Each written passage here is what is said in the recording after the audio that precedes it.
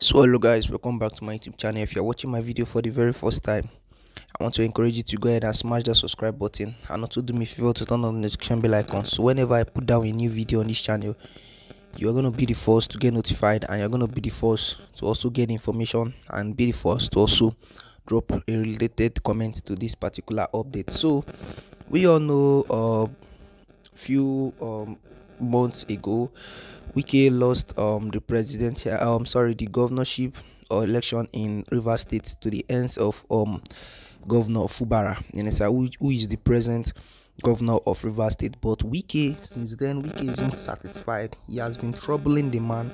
If you even look at it, you think maybe um, River State is having two governor.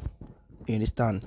Because Wike is not satisfied. Wike want to run his third um this thing tenor again in that River State. I don't know what they are benefiting from River State that has made Wike not to even want to leave the city. He has been disturbing Fubara instead of uh, allowing Fubara to um rule in peace. So what we what we will do if Wike troubles continues in River State PDP leader you understand because PDP leader have um have see that um Wike's trouble is getting too much is troubling Fubara that he wants to enter back again. You understand? He's not satisfied. So the remark by the PDP leader shows that the feud between Governor Fubara and Mr. Wike is far from being over despite a peace deal that was that was settled by President Governor um, Bola Ahmed Tinubu in December last year. This has been settled in December last year, but Wike is not satisfied.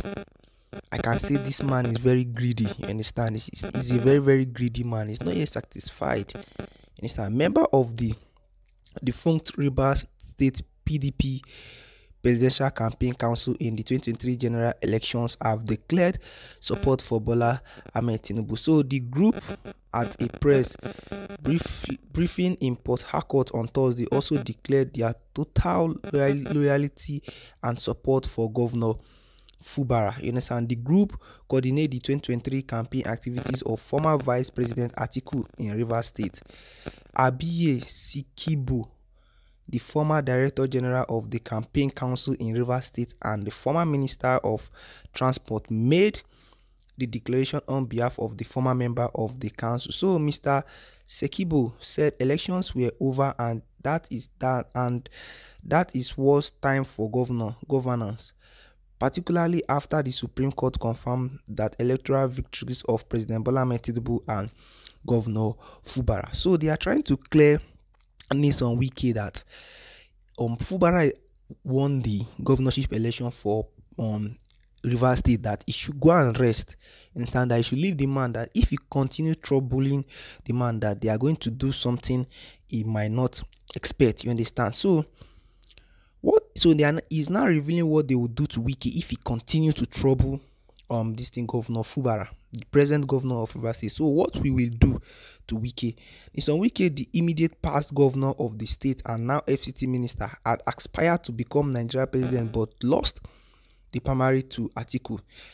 After losing at the primary, Mr. Wike, former G5, a group of five PDP members that worked against the success of Atiku at the 2023 presidential polls, Mr. Wike, who backed the APC candidate um, Bola Ahmed Tinubu in the election also frustrated the effort by the PDP campaign committee in Rivers State to have Atiku hold a campaign in the state, including denying them a campaign venue.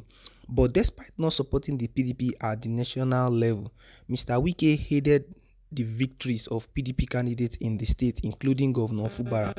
He, however, felt out with Governor Fubara because of the disagreement over the control of politics and governance in Rivers State. You can see that this man, he, he claimed that he was the one who helped them to win the election. That he was, you know, they still there's some agreement he with uh, him and Fubara made in terms of control of political aspect in um Rivers State. But Fubara is now bridging the agreement because he doesn't want it to be a situation whereby it looks like as if there are two um governor governing one state you understand so this has continued to bring issue um in river state up till now so i want to hear from you in the comment section below what you actually think about this do you believe um, um, governor wike is going to later do something strange to Fubara, or do you believe he cannot do anything anymore. That Fubara has already become the governor of River State and is going to complete his tenure. So